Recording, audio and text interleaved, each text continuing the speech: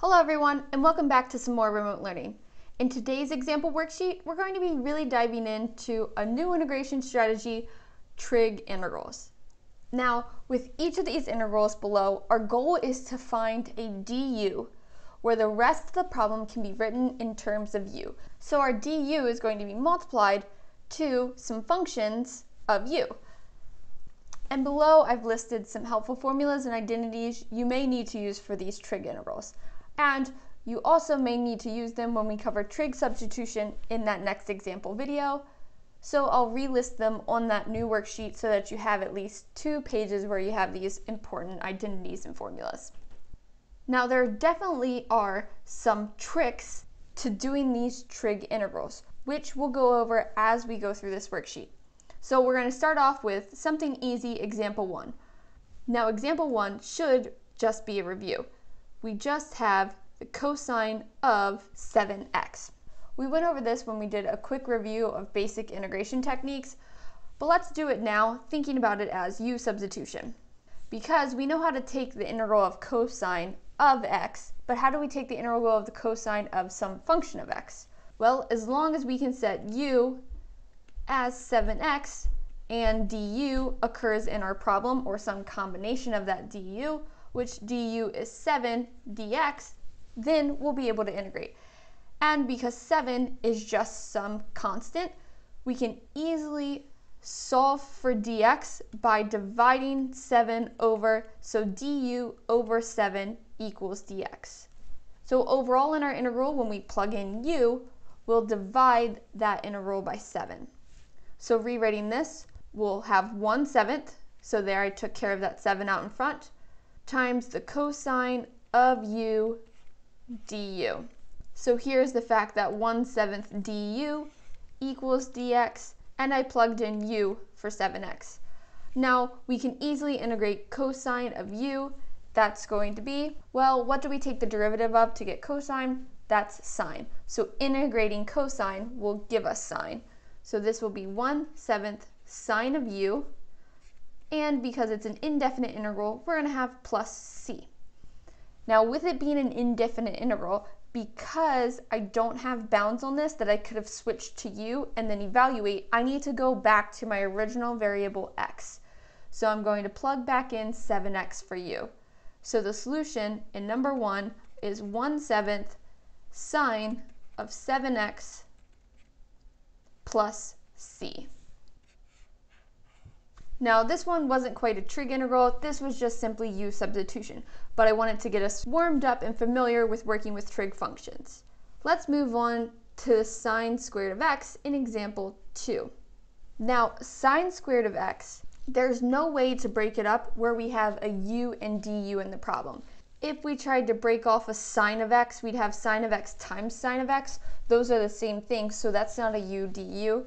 Or if we tried to use the Pythagorean identity above that says sine squared plus cosine squared equals 1, if I rewrote sine squared as 1 minus cosine squared, well, I'm going to end up with another squared trig function, which I don't know how to evaluate.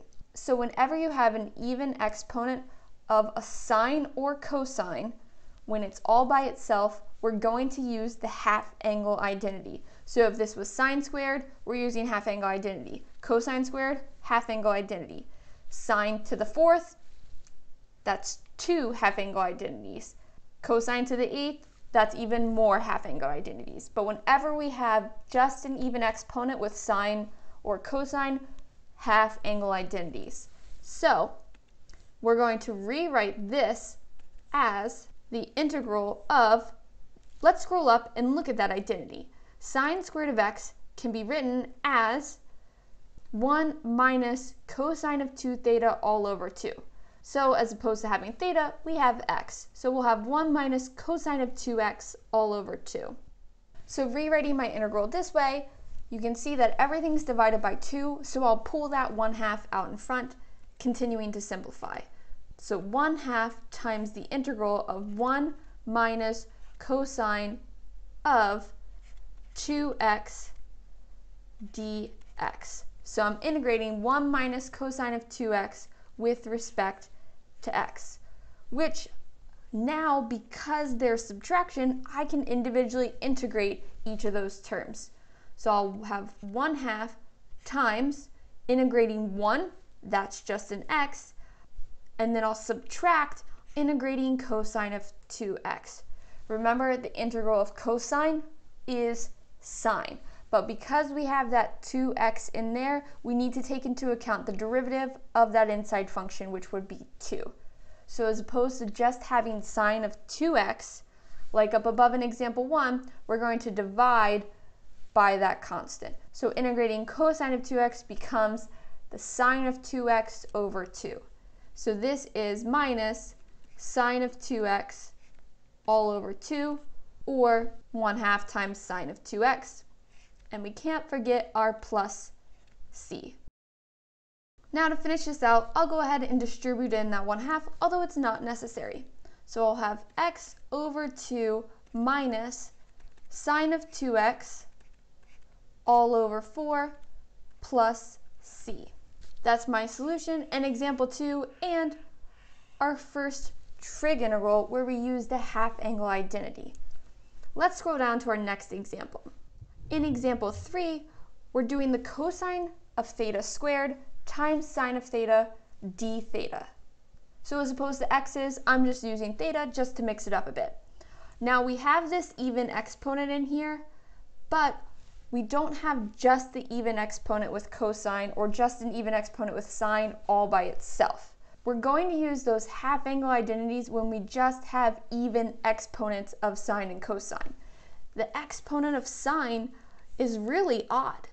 This is sine to the first. And with this, we move on to our next hint. When we integrate with sine and cosine raised to some power, as long as one of them is odd, we're going to break that off to become our du. So because sine is raised to an odd power, that's going to become our du.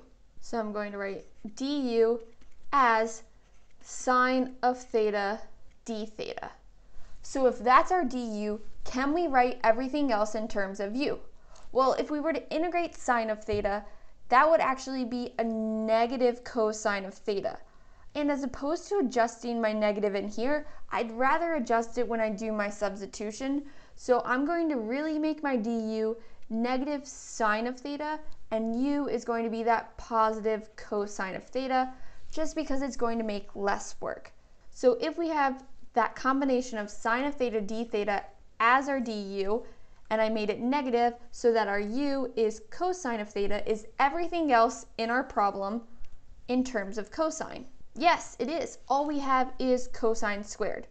So now I can plug that in and integrate with respect to u. So I'm going to have the integral of, now remember, sine of theta d theta is du over a negative 1. Because I don't have this negative in here, I need to divide it out, and that's going to be in my new integral. So I'll have a negative out in front. And that takes care of my du. There's my negative du, which is that sine of theta d theta. So all I have left is u squared. So I'm going to integrate negative u squared with respect to u. u squared becomes u cubed over 3, and remember that's a negative, and then don't forget that plus c. Now I'm switching everything back in terms of my original variables. So u is going to go back in terms of theta. So I'm going to have negative cosine cubed of theta all over 3 plus c. That's my solution in example 3.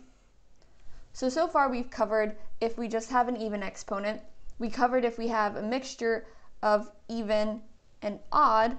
In number 4, we have another mixture for cosine and sine of even and odds. However, this time our cosine is the one with the odd exponent. So it's the odd we want to mod. So we're going to separate one cosine off of that. So if I was to rewrite this, we're going to have the integral of cosine of x times, well, once we pull that cosine of x off, we have cosine squared x remaining. And then we're going to multiply by sine squared x dx.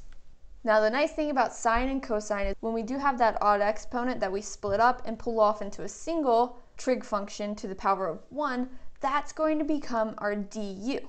And that's our du because we're able to write everything else in terms of u. So if our du is cosine of x dx, think about integrating cosine, that is sine. So our u is sine of x, and unlike up above, we didn't have to do any small adjustments with coefficients, like that negative 1. So we have that cosine of x as our du. Can we write everything else in terms of sine of x? Yes, we can. Already, we have a sine squared x, so that's in terms of sine of x, but our cosine squared x, we can use that Pythagorean identity that says that sine squared plus cosine squared equals 1 and rewrite that as 1 minus sine squared. So as long as we get that even exponent with that cosine or sine, we're going to be able to rewrite it in terms of that other trig function. And again, this is exclusively for sines and cosines. So I'll quickly underline my du.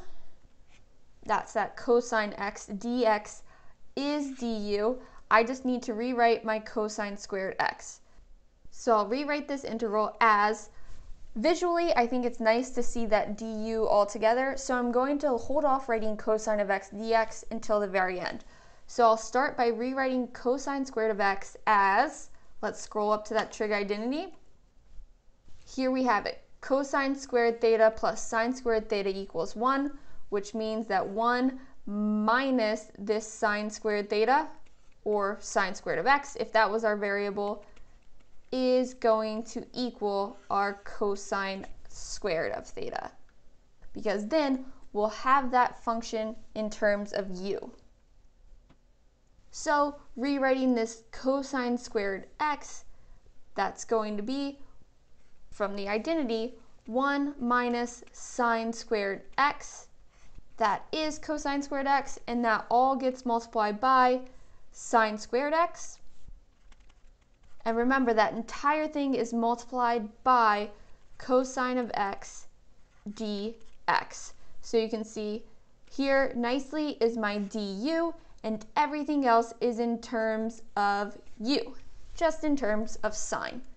Now I'm ready to do my u substitution. So I'm going to write this as the integral of 1 minus u squared times u squared times our du. Because remember that cosine of x dx is our du. Here's 1 minus u squared times u squared. Now I'll distribute through in order to integrate. So we'll have u squared minus u to the fourth du. Integrating this becomes u cubed over 3 minus u to the fifth over 5 plus c. Now because I started with x variables and this is an indefinite integral, I'm going to go back to those x variables. Remembering that u equals sine of x, u cubed becomes sine cubed of x, and that's all over 3, minus u to the fifth becomes sine to the fifth of x over 5, and we're adding c. This is our solution for this problem. And again, I want to reiterate that when we mod that odd exponent, when we split apart that odd exponent, it leaves us with just an even exponent in terms of cosine, or if the odd exponent was with sine, it would leave us with just even sines once our du is pulled apart, which we can always rewrite cosine to an even power or sine to an even power using that Pythagorean identity. Let's move on to the next page. Now on this next page, we get into cosecant and cotangent. That's a completely different identity we're going to be using. And the same tricks for cosine and sine don't apply. Cosecant and cotangent and secant and tangent have their own separate set of rules. I would say the best strategy to do is remember that goal. We're trying to find a nice du and write the rest of our problem in terms of u. So when we're dealing with cosecant and cotangent, we've got two potential u's that we can use. One u would be the cosecant of x, or in this case 4x. And then the other u could potentially be the cotangent of 4x. Now, if u was cosecant of 4x, what's the derivative of cosecant? Well, the derivative of cosecant is going to be negative cosecant of that function, so of 4x, times cotangent of 4x, times the derivative of that inside, which is 4. So I'm going to write negative 4 out in front. So the derivative of cosecant of 4x is negative 4 cosecant of 4x cotangent of 4x. Now remember, we can always divide that constant out when we do that u substitution, so let's ignore this negative 4 for now. Let's just look at the cosecant of 4x and cotangent of 4x. If that was my du, can I write everything else in terms of cosecant? Well, let's see. If we were to split this apart, we need to pull off a cosecant and a cotangent so that we could write this as cosecant cotangent. So doing that, I'll have cosecant of 4x times cotangent to the fourth of 4x. And then you can see I have my du of cosecant of 4x times cotangent of 4x dx. And let me fill this in. I forgot to write my dx here. So we'll put that dx in, and you can see that we do indeed have a du here, but can we write everything else in terms of cosecant? And yes, we can, because here's a cosecant, so there's a u, and cotangent to the fourth of 4x, if you think of that as cotangent squared of 4x squared, cotangent squared of some theta, if we scroll up to our identities, we can rewrite that to be cotangent squared of theta equals cosecant squared of theta minus 1. So if we were to substitute this in for that cotangent function, we would have nothing but cosecants in our integral. So yes, we have our du and we have everything else in terms of u.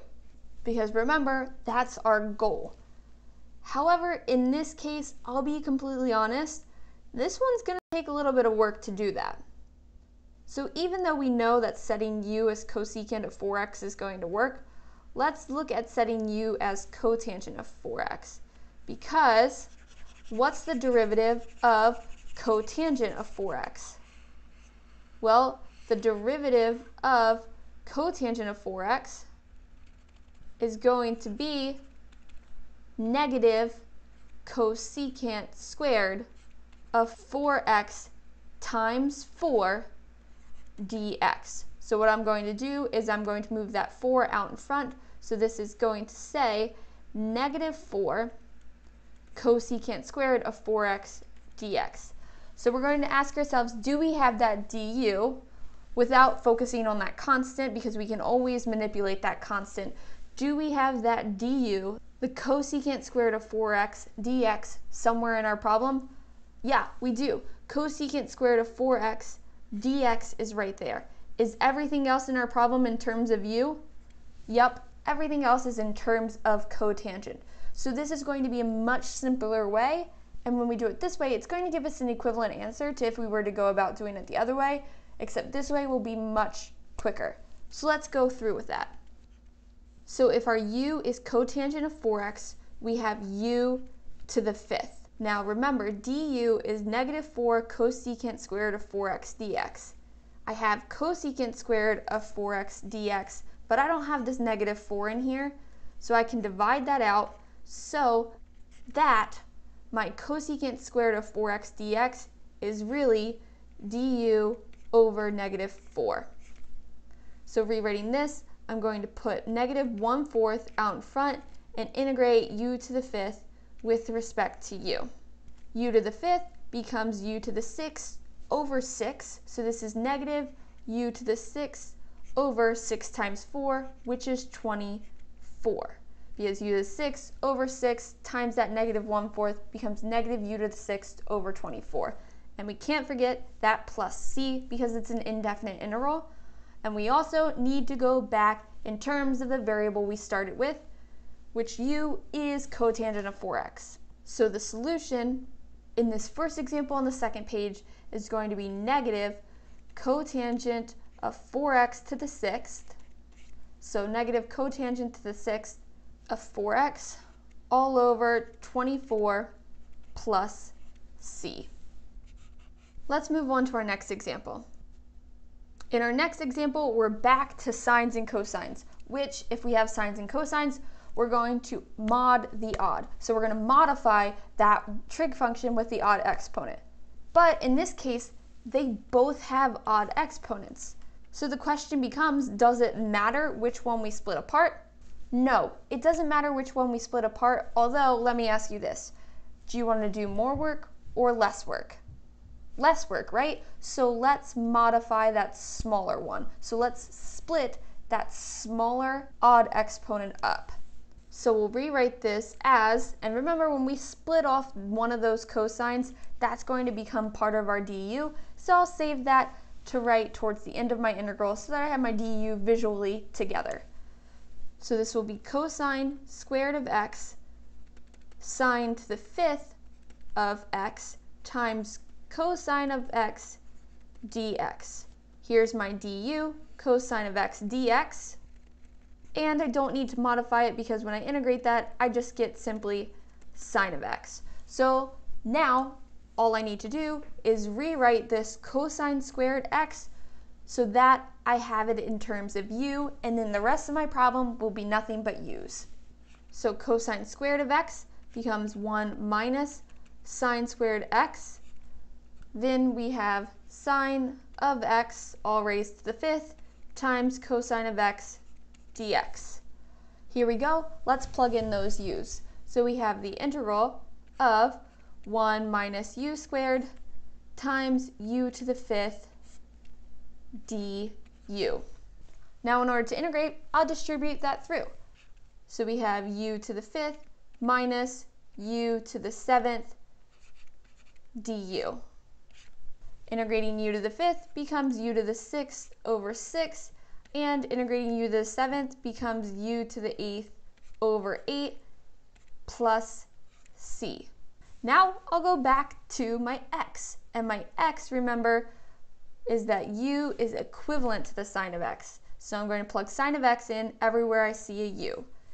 So that's sine of x to the power of 6 all over 6 minus the quantity sine of x, that raised to the eighth all over 8 and plus c. So there's my solution in this example. Now, like I said, it's not going to matter whether we modify the larger odd exponent or the smaller odd exponent. But I just want to show you quickly, if you do modify that larger odd exponent, it's just going to be a little bit more work. So let's rewrite this problem doing it again. and I'll go through this fairly quickly. So breaking off one of those sines, we're going to have cosine cubed of x times sine to the fourth of x times sine of x dx. So I broke that off because that becomes my du. However, remember integrating sine, we're going to get a negative cosine, and I don't want to deal with the negative throughout my problem, so I'm going to deal with it within my du. So I'll make du equal to negative sine dx, which essentially means that negative du equals the positive sine of dx. And then my u is just going to be that positive cosine of x. Now, can I write my problem in terms of u? I totally can.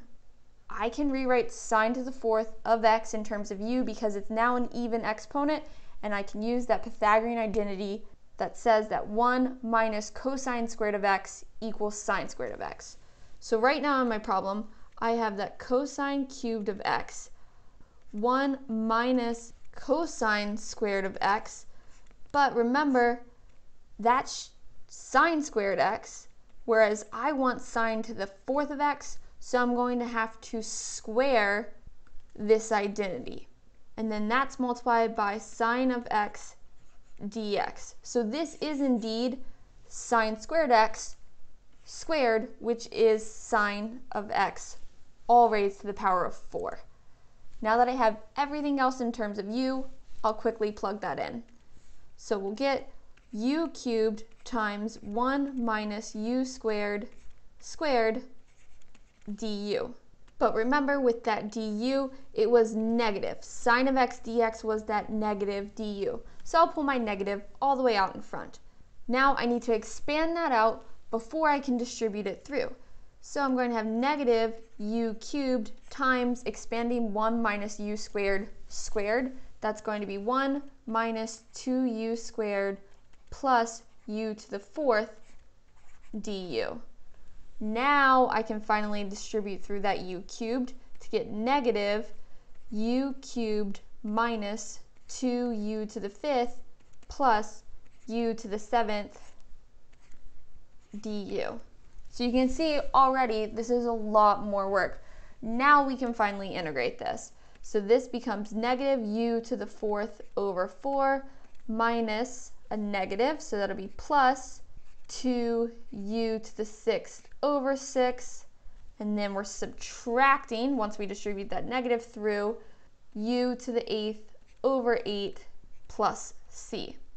Now in this case, my u represented cosine of x, so I'll have negative cosine to the fourth of x all over 4 plus 2 over 6 is 1 third, so this would be cosine to the sixth of x over 3 minus cosine to the eighth of x over 8 plus c. So you can see by modifying that larger odd exponent, splitting that apart, we're going to get more terms that we have to deal with. So we have this solution, which is a correct solution, but when comparing it with the first one we got, this first one was much easier. Let's go ahead and zoom out real quick, showing some of the work. We have all of this work versus this work. So it is indeed easier to modify the smaller odd exponent, but either way will give you a correct solution. Let's move on to number 7. In number 7, we have sine squared of 3x times cosine squared of 3x dx. What did I say about even exponents? When we have nothing but even exponents for sine and cosine, we need to use half angle identities. So we're going to rewrite sine squared of 3x as a half angle identity and cosine squared of 3x as a half angle identity. So this problem is going to be pretty in depth with those two half angle identities, but once we set that up, it's pretty much algebra from there. So this integral becomes sine squared of 3x versus cosine squared 3x, scrolling up to our half angle identities. Sine squared, we subtract the cosine of 2 theta, whereas with cosine squared, we add the cosine of 2 theta. So as far as memorizing these goes, it's really just a matter of adding versus subtracting. So for this sine squared of 3x, remember that was when that cosine of 2 theta was subtracted. So we have 1 minus cosine of 2 theta, whereas theta you can think of as our function within that cosine. So we're going to have 1 minus cosine of 2 times 3x. So this is going to be 6x all over 2. And that gets multiplied by 1 plus, again, multiplying that by 2, cosine of 6x all over 2. And we're going to integrate that with respect to x. We have 1 half times 1 half. That's multiplied to everything, so I'm going to pull a 1 fourth out in front. And pulling a 1 fourth out in front, now all I have are two binomials that I will be able to distribute together. So leaving my 1 fourth out in front, we'll have foiling 1 times 1 1, and then I have 1 times cosine of 6x, but then I have negative cosine of 6x times 1. So I'll have cosine of 6x minus cosine of 6x, those terms will cancel out to leave me with 0. So the only thing left is cosine of 6x, that one that's negative, times cosine of 6x. So that's going to be minus cosine squared of 6x. And I'm integrating this still with respect to x. So you can see we simplify this problem down, except look what we have. We can split this integral up because we just have subtraction, and we can easily integrate 1. However, now we have cosine to an even exponent all by itself. What are we going to have to do? We're going to have to do another half angle identity. So this becomes 1 fourth times the integral of 1 with respect to x. I'll go ahead and integrate that part now. Integrating 1 is just x. So I have 1 fourth times x, but I'm subtracting the integral of cosine squared of 6x dx. Remember that 1 fourth is multiplied to everything. Continuing this problem over here, I'll distribute that 1 fourth through so that we don't have to worry about continuing writing those parentheses. So this is just me doing a little bit of rewriting. I'm not changing anything. So I have 1 fourth the integral of cosine squared of 6x dx.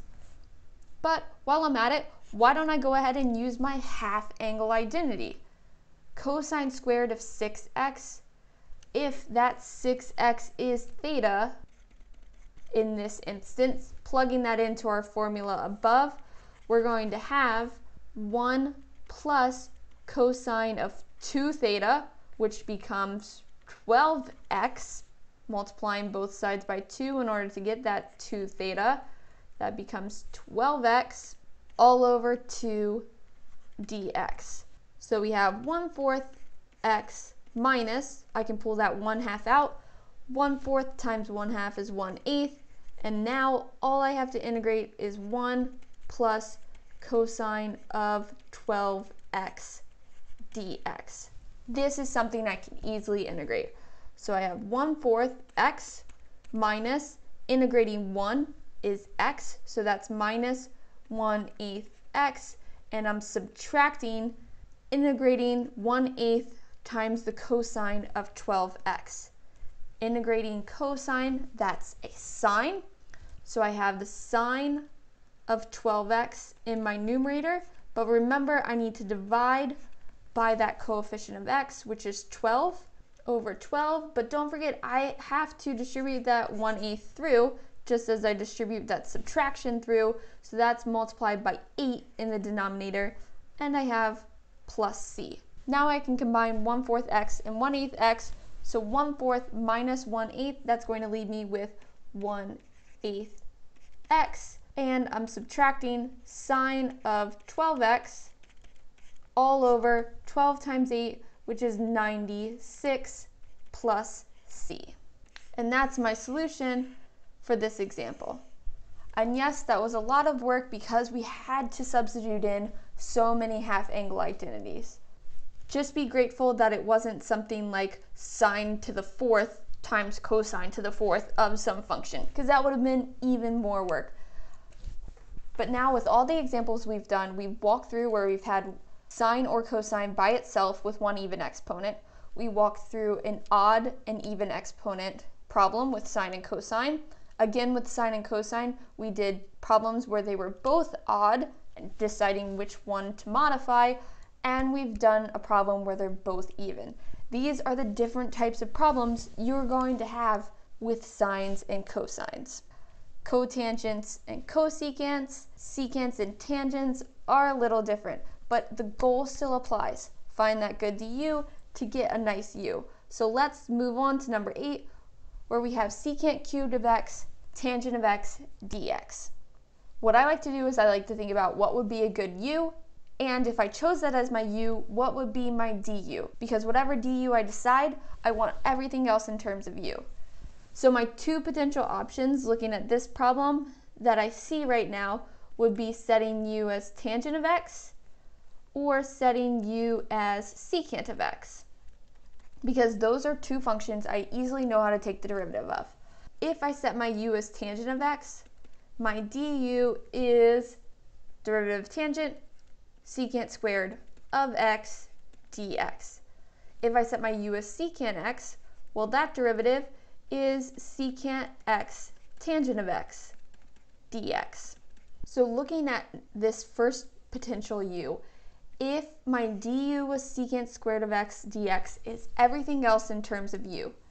In order to get a secant of x dx, I need to split this apart. So I would write this as secant of x, and remember my personal preference is to leave that du off to the far right. So I'll write tangent of x next, and then I'll write secant squared of x dx. So you can see here's my du. Is everything else in terms of u, or can I make everything else in terms of u? And the answer in this case is no. Yes, I have my u here, so that's good, but secant of x, having that odd power, there's no way to write it in terms of tangent of x. If this was an even power, well then sure, we can use that nice Pythagorean identity that we have up above. But since it's not, there's no way to write the rest of this problem in terms of u, so this is not a good du to use because everything's not in terms of u. So let's erase it and look at the next one. If my du was secant x tangent of x dx, is everything else in terms of secant? Well, let's take a look. Let's write this as splitting that du off to the side. I'm going to have, well, in order to make this du, I need to split this secant off.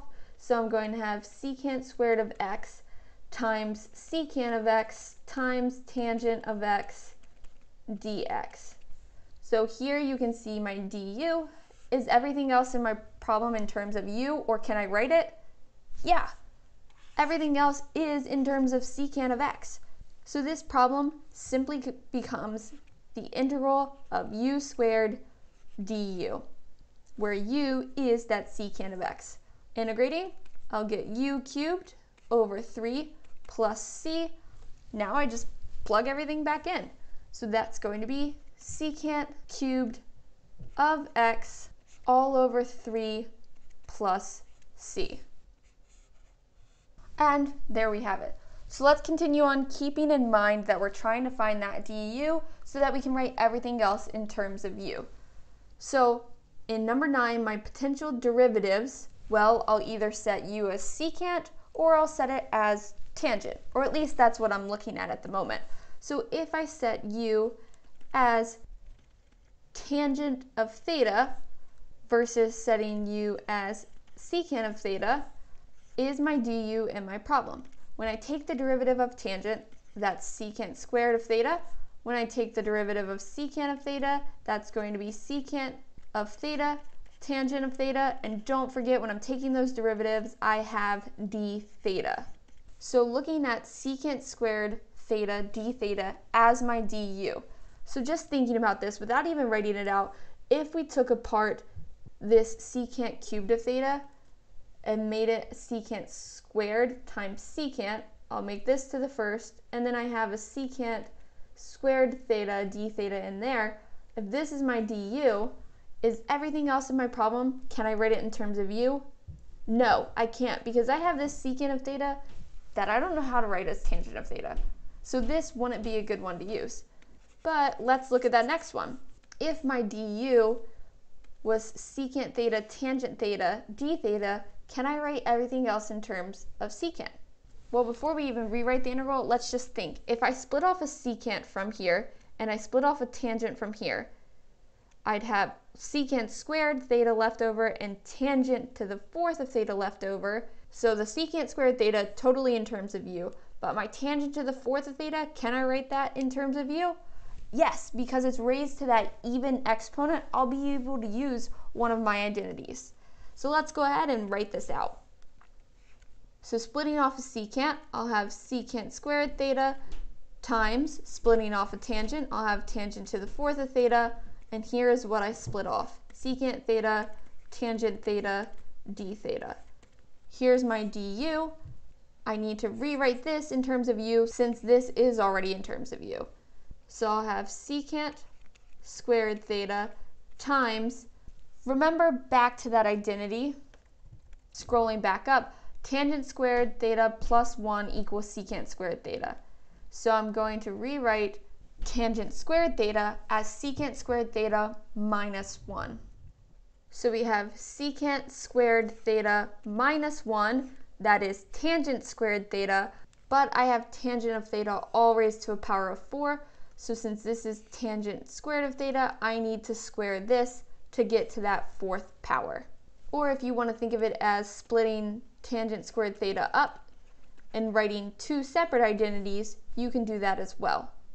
And that might be a little bit easier if you struggle with FOILing. So let's go ahead and do that. Splitting up that tangent to the fourth of theta, that's tangent squared theta times tangent squared theta, which, when I use that identity, is secant squared theta minus 1 times secant squared theta minus 1, and I still have secant theta tangent theta d theta. Here is my du, and everything else is in terms of u. So I'll have u squared times 1 minus u squared times 1 minus u squared du. So u squared, FOILing out 1 minus u squared times 1 minus u squared, that's going to be 1 minus 2u squared plus u to the fourth du. Distributing now, I'll get u squared minus 2u to the fourth plus u to the sixth du. Now my last and final steps are to integrate and then plug in what u is.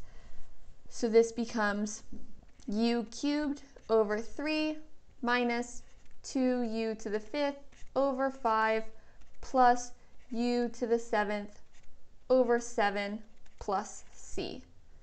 And remember my u for this case was secant of theta.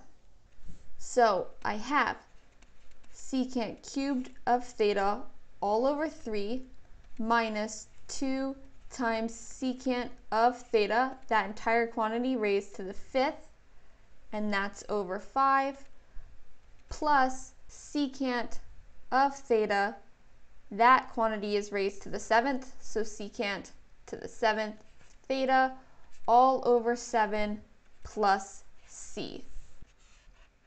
And with that, we wrap up this final example on this practice worksheet. Hopefully you've picked up some helpful tricks for solving these trig integrals because they're going to come back up in that next example video when we go over trig substitutions. Lots of times with trig substitutions, when we simplify the problem down, we'll wind up with a trig integral. So we'll get extra practice doing this in the next video. But remember, don't lose that goal in mind. We need to get a good du to where everything else in our problem is in terms of u and then it's easy to integrate. If you have any lingering questions, feel free to let me know. And until next video, good luck with your online learning.